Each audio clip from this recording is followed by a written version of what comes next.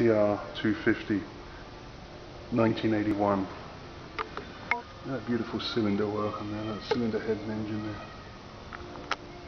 He's got an oil pan underneath, he might be dripping a bit of oil.